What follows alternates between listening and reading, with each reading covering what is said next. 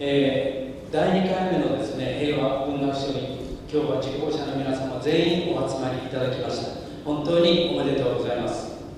えー、それでは発表いたします。下沢官文学賞短編小説部門大賞夏の音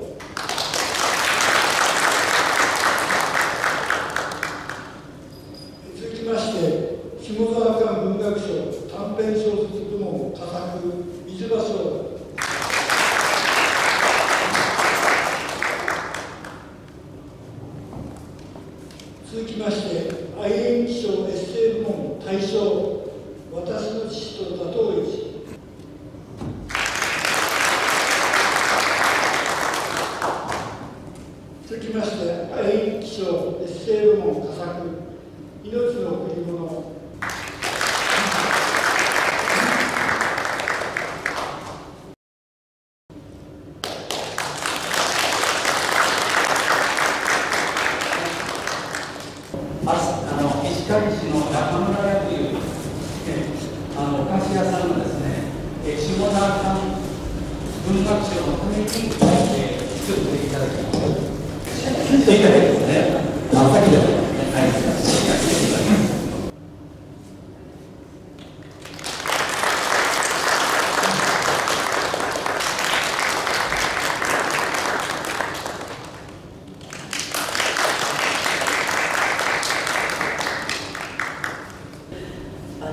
ちらの方に伺うのは本当に楽しみじゃないですかそちらの方から女がなんか当たり前になりまして、改めてなんか北海道に住んでいながら北海道の珍しさみたいなものを改めて感じさせていただきました。で自分でもとてもすごく好きな作品だったので、それで学んでいただいたっていうことになって、ますます気持ちの中で励みになりました。とても嬉しく思っております。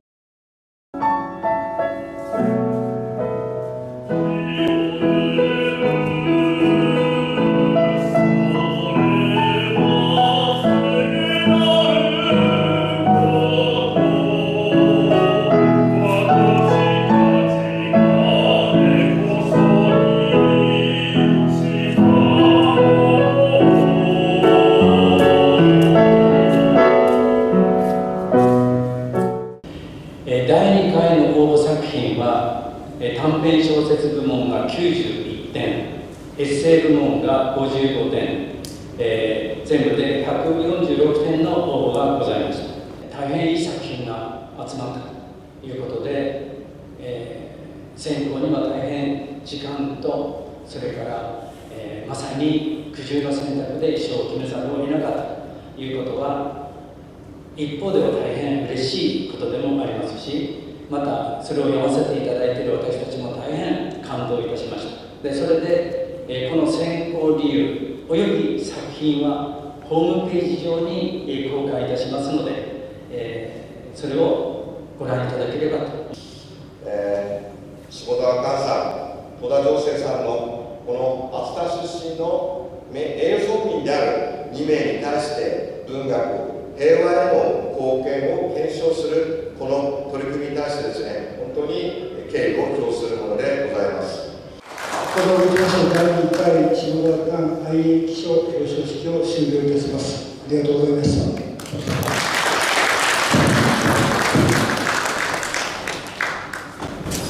ご出席の皆様、本日は誠にありがとうございました。えー、お昼を挟みまして、午後1時から第2部、えー、セスポジウムをこの会場にて開催させていただきますので、引き続きご意見いりだますようよろしくお願いします。第2部の開会に先立ちまして私ども暑さふるさと平和文学賞の活動を日頃からご支援をいただいている企業団体の皆様に感謝状を贈呈させていただきます。感謝状株式会社ワールドフッディ代表取締役石塚義美様。記者は石狩市の平和活動を後押しするとともに人間尊厳の精神があふれる新たな文学の創出を目指す熱田ふるさと平和文学賞の運営のために多大な貢献をなされました。彼の第2回下沢館文学賞愛縁記賞の表彰式にあたり感謝状を贈り深淵なる感謝の意を表します。どうもありがとうございました。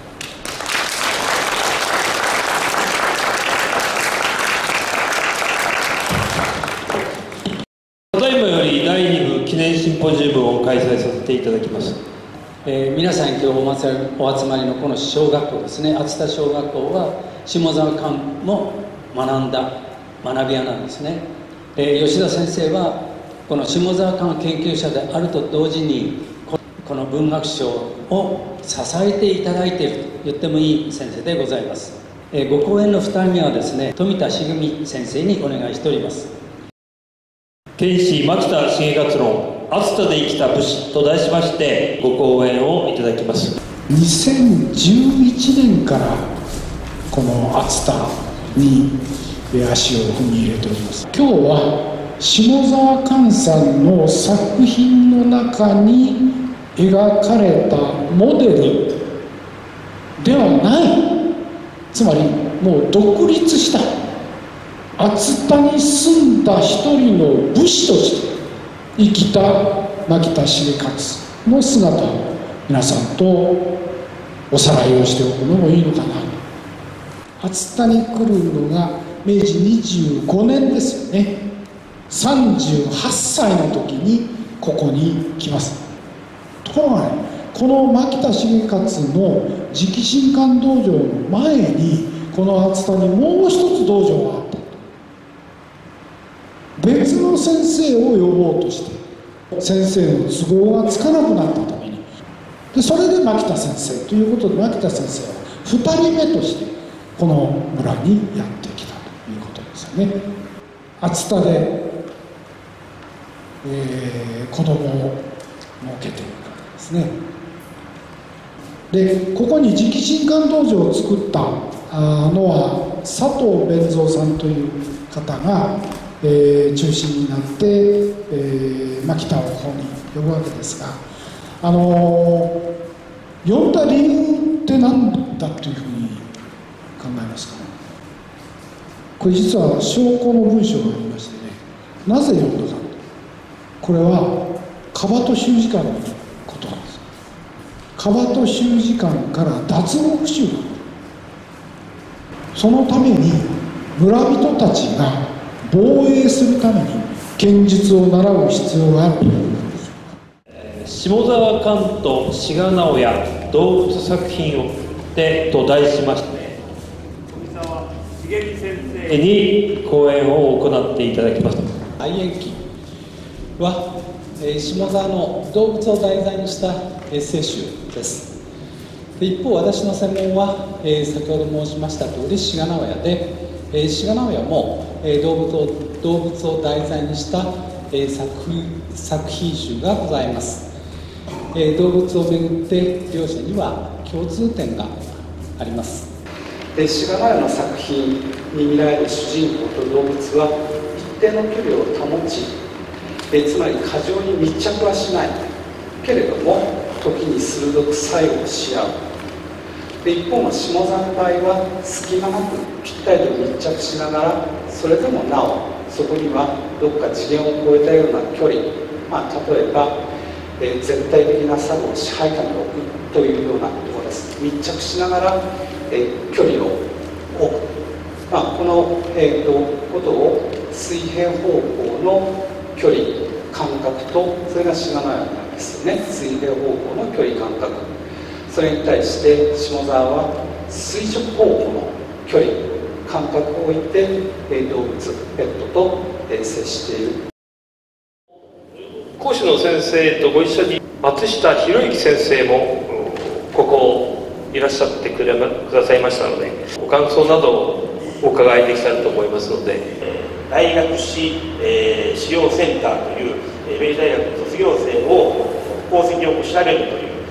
センターの一員ではあるんですけどもセンターでご一緒してこちらに来る機会がなかったんですけども縁もゆかりもないこのアスターというあの場所にですねふとですねあ小さい時のことを思い出すとなんか縁があるなっていうことを思った箇所がありました。シンポジでも第4回ということで、えー、会を重ねてまいりました。そういう意味では本当に意味深いこのアスパの地での公演だったかと思います。下沢寛さんが集められたお猿さんのお人形ご本人が集めたもの。それから熊の敷物あの敷物の中で小説をお座りになって書いたというご基礎になってるので本日ここにあの語ってございますのでぜひお帰りの際見て帰っていただきたいなと思います。あの寒くて底冷えがされたんじゃないかと思って心配をしておりましたけども、